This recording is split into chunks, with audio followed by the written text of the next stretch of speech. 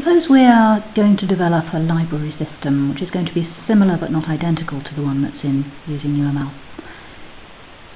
Key thing we have to understand is the outline of the requirements we have together with an understanding of what we control and what we don't control. Key thing you don't control is the users of your system.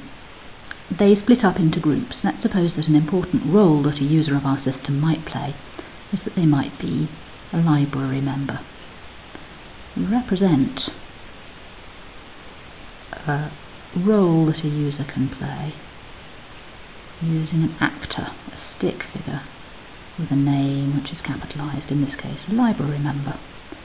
That's outside the boundary of our system. We can ask the library members to do certain things. We don't control their behaviour. We're not designing the library user. What do they want to be able to do with our system? Let's say the basic thing they want to be able to do is borrow a book. That means our system has to provide functionality to support borrowing a book. So we have a use case here labelled with a strong verb, borrow, borrow book in a verb phrase.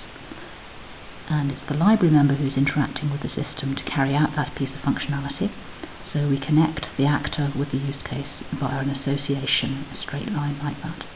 That's our simplest possible UML use case diagram.